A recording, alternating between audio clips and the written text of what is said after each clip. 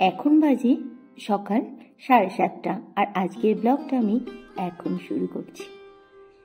সকালবেলায় করে নিলাম চাউমিন, আর ছেলের জন্য করলাম ডিম টোস্ট। এটা তোমাদের দাদা ভাইয়ের চাউমিন। ও খেয়ে যাবে অফিসে। এই দেখো তোমাদের দাদা ভাইও চলে যাচ্ছে। ছেলেও চলে গেল কলেজে। প্রতিষ্ঠাকে দিয়ে এসছে আজকে তোমাদের দাদা ভাই স্কুলে।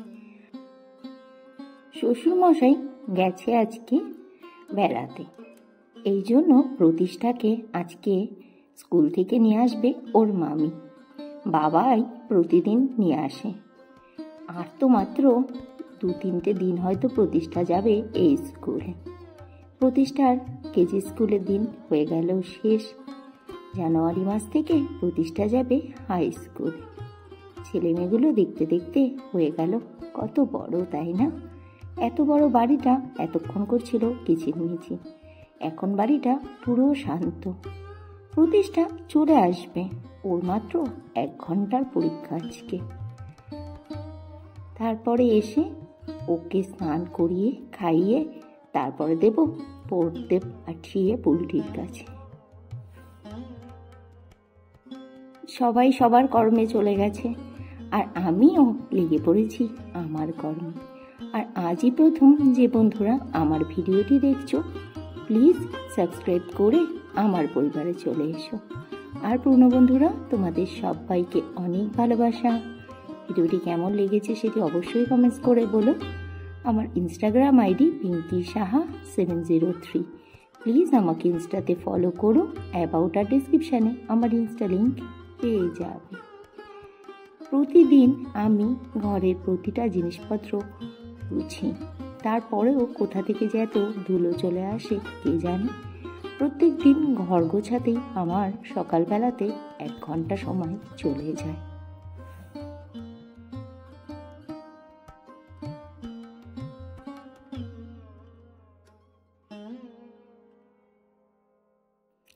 ঠান্ডাটা কিন্তু এখনও তেমনভাবে পড়েনি, তাই না বলো? যতটা ঠান্ডা পড়ে যাওয়ার কথা, ঠিক ততটা পড়েনি। এখনও বেশ একটা আরামদায়ক ওয়েদার রয়েছে। না বেশি ঠান্ডা, না বেশি গরম। অত্যাধিক ঠান্ডা পড়লে তখন কিন্তু বড্ড কুড়েমি লাগবে কাজকর্ম করতে। শীতের দিনে মনে হয় যেন হাত পা গুটিয়ে বসে থাকে। কিন্তু আমাদের তো আর বসে থাকলে চলবে না। আমাদের তো কর্ম করতেই হবে। সেটা শীত, গ্রীষ্ম, বর্ষা যে কোনো দিনই হোক, একই রকমভাবে কাজ করে যেতে হবে।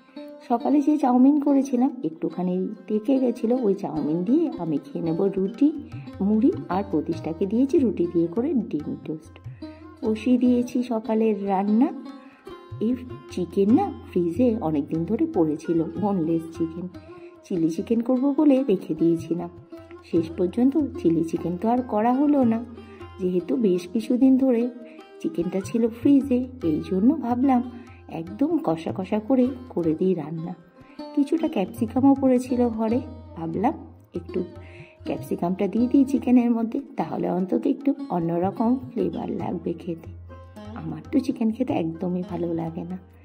আর দুপুরে আজকে রান্না করেছি কি দেখে না চিকেনটা তো রান্নার সময় দেখেইছিলে করেছি মূলো দিয়ে ডাল আর করেছি আলু ভাজা। কালকে ডিম ছিল, ওটা গরম করে নিয়েছি, আর কপি ডাটা চচ্চড়িটাও নিয়েছি গরম করে।